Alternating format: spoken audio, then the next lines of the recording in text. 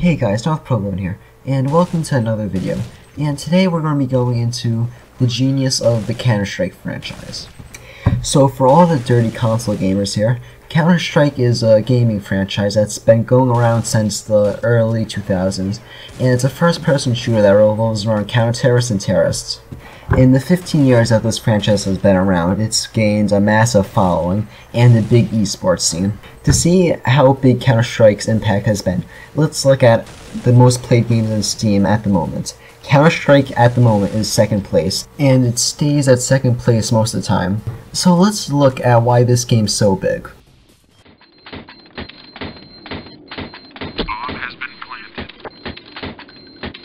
So right off the back, I think I can answer this question in a single word. This word being simplicity.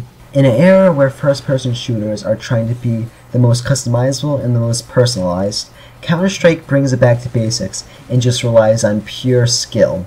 This really does give Counter-Strike upper hands in the first-person shooter scene, because like many other genres, the first-person shooter scene has become pretty much bullshit like games like Battlefield 1 and Call of Duty Infinite Warfare, it's not much skill anymore, it's pretty much just a lot of luck, and that just shit is not meant to be in the first-person shooter genre. To see the difference, let's look at a first-person shooter that's recently come out. This is of course Battlefield 1, everyone's favorite so-and-so realistic first-person shooter.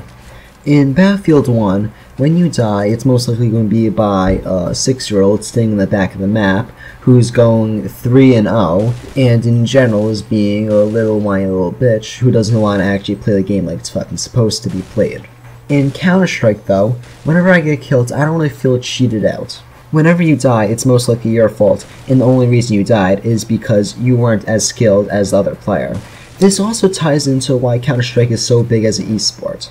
This simplicity makes it so that you can really get at the mechanics and learn all of them, and instead of just trying to grasp all of these mechanics, you could sit down and you could just keep on practicing and practicing the core mechanics that Counter-Strike is built on, and in general, just get better and better. Like, being good at Counter-Strike isn't really rocket science. You just need to be quick-minded and you need to know how to shoot. Also, the fairness of Counter-Strike's gameplay makes it so that a good player will always prevail against a shitty player. This is great for esports because this means that the better player will always be rewarded.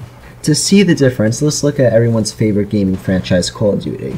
In Call of Duty, say if little Jimmy, the 9-year-old, has really great luck, and every time he turns a corner, little Jimmy gets lucky and gets a kill, pretty much little Jimmy is going to win the game when other players could have been much more skilled at the core aspects of the game. And yeah, definitely in Counter-Strike, there are sometimes where you could just turn a corner and you can get a cheap kill with a shotgun. But in Counter-Strike, it's a lot less likely to happen just because of Counter-Strike's system. It rewards intelligent people for not being a dumbass and turning a corner where there's clearly a fucking enemy. Oh, and that leads into another aspect that I love about Counter-Strike, that being the shooting.